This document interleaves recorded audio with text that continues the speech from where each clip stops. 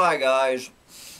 Imagine that. It is a gray, gloomy, drizzly, ugly day here.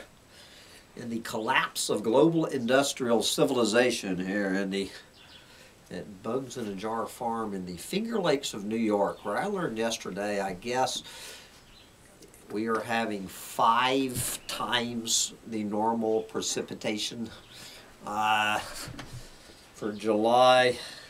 What is it? So this is now, I think we're at Wednesday, July 21st, 2021, somewhere around there. And uh, so guys, I was going to make today's Chronicle of the Collapse, and I guess I will still do this, uh, but I was going to do a full bore uh, rant, tipping my hat to the mainstream media, to Yahoo News, particularly the LA Times, yes, the Los Angeles Times, beginning to sound more and more like collapse chronicles in bright green lies with this article, this very well done, in-depth reporting called California's Electric Car Revolution Designed to Save the Planet unleashes a toll on it, meaning a toll on the planet. And um, so as I say, this is a long, involved article, but but as I got through it, I said, haven't I been through this recently? And I remember I just did a rant uh, two or three days ago, uh, a, a, very similar rant, you know, from Andrew Friedman, talk, you know, talking about the same thing. But hallelujah, we have the mainstream media finally uh, letting the clueless morons know that electric vehicles are a joke. I, I mean, if, if, for saving the planet, electric vehicles are a joke. Uh, while no one has ever said this, this is the latest example of comparing a carbon footprint to an environmental footprint. Just one more story as more and more people figure out that the cost of reducing the carbon footprint portion of the total ecological footprint, all it does is every bit of savings on one on the big toe of the carbon footprint just gets moved to the heel and there very well could be that electric vehicles, which is what they're talking about in this case, although you could say the same for wind turbines, solar panels, all that other crap, all that other clean green energy, save the planet, greenwashing crap, when you look at the entire picture, the entire ecological footprint, the hit to the planet that the, the, this clean green technology could very well be worse for the planet. The cure could be worse than the disease, or at the very least, it's an even trade. Okay? There, it, it makes no difference. You cannot that that saying that I've never completely understood, which I guess is apropos here, you cannot have your planet and eat it too. You can't have a planet that you're eating. Well, you can until you eat it. And then you don't have a planet anymore. Okay? So, uh, I was gonna, I'm gonna put the link on it. I mean, you can read this long, involved piece. We're just gonna read about the first third of it. this is uh, by Evan Halper. California's electric car revolution designed to save the planet also unleashes a toll on it. The precious cargo on the ship docked in San Diego Bay was strikingly small for a vessel built to drag oil rigs out to sea.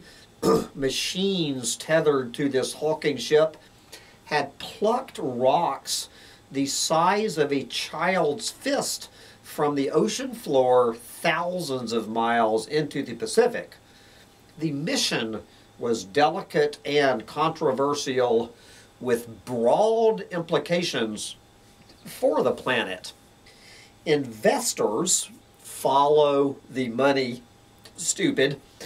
Investors are betting tens of millions of dollars that these black nodules, these little rocks, these black nodules packed with metals used in electric car batteries are the ticket, are the ticket for the United States to recapture supremacy over the green economy and to keep up with a global transportation revolution started by California.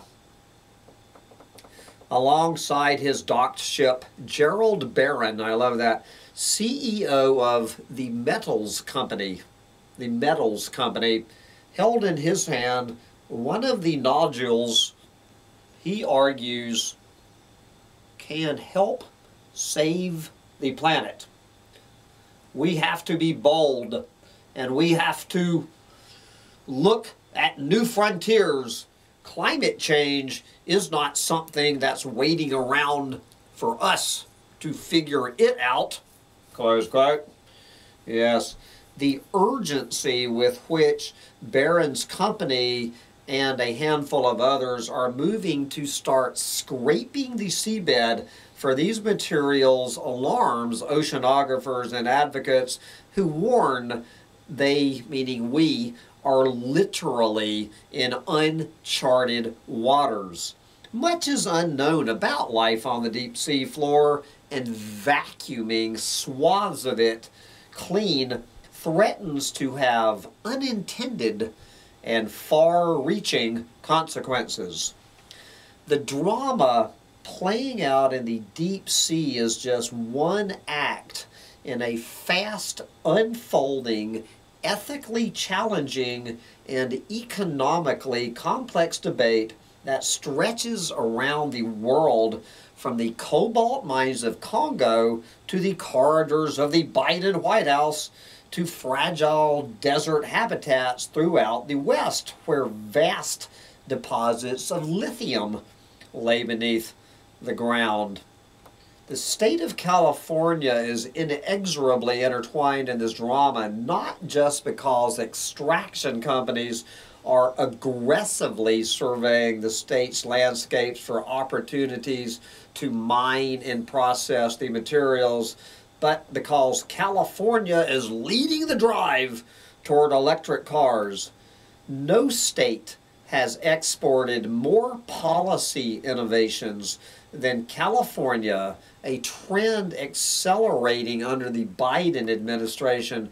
The state relishes its role as the nation's think tank, though the course it charts for the country has at times veered in unanticipated directions. This is Douglas McCauley, a marine science professor at UC Santa Barbara, talking about plans to scrape the deep sea floor to save the planet. Quote, the ocean is the place on the planet where we know least about what species exist and how they function. This is like opening a Pandora's box.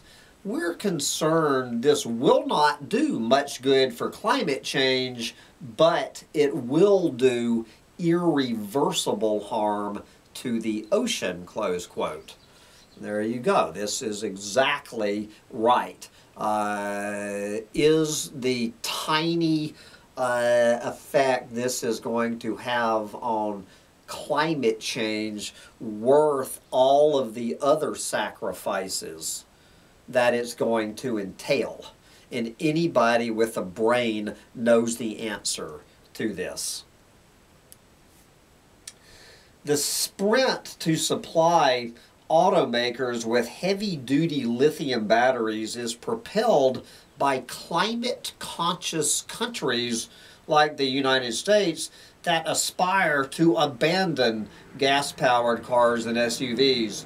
They are racing to secure the materials needed to go electric, and the Biden administration is under pressure to fast track mammoth extraction projects that threaten to unleash their own environmental fallout.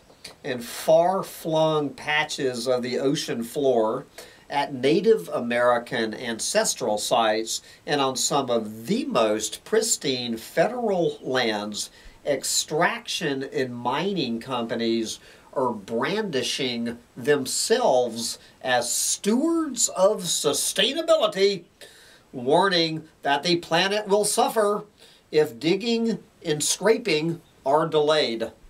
The planet will suffer if digging and scraping are delayed, say the self described stewards of sustainability, otherwise known as giant multi billion dollar multinational uh, mining corporations with Joe Biden in their pocket.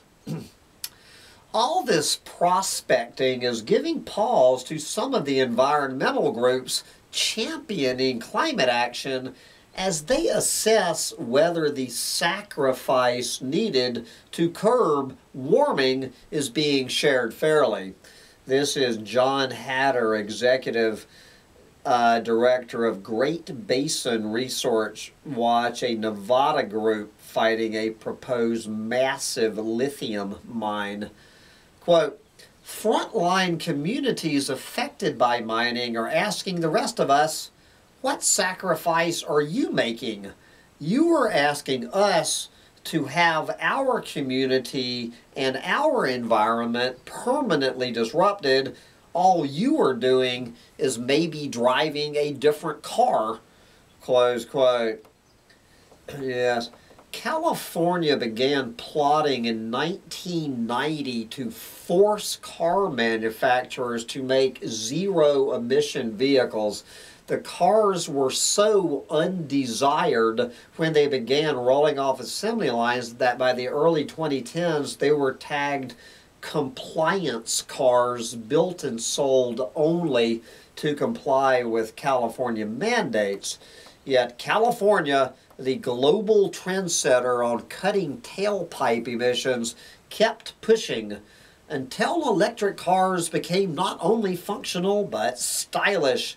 Next year, 500 electric vehicle models will be sold worldwide. Uh, the state's crusade, including a ban on sales of new combustion engine cars and SUVs by 2035, has analysts predicting a surge in demand for the cobalt, lithium, manganese, nickel, and other materials used to build electric car batteries need for these materials could soar by 600% globally over the next two decades, according to the International Energy Agency. And this is what, when I was talking about this uh, very statistic a, a few days ago in a similar rant I was doing, this more than anything tells the story 600% increase over the next 20 years. In, in order to save the planet, we need to increase mining for this say the save the planet uh, minerals by 600 percent where do you think they're going to be doing it? They're going to be scraping the bottom of the ocean floor. They're going to be doing it in gorilla habitat. They're going to be mining and blasting uh, our public lands. Uh, uh, Joe Biden, uh, his attacks on our public lands for this crap is going to leave Donald Trump's attacks on the public, on our public lands, uh, in the dust. Joe Biden uh, is out trumping Donald Trump. Electric cars now account for 1.7 million vehicle sales annually worldwide, and that number could soar to eight and a half million in the next four years, Bloomberg New Energy Finance projects. The transformation is happening quickest in Europe and China.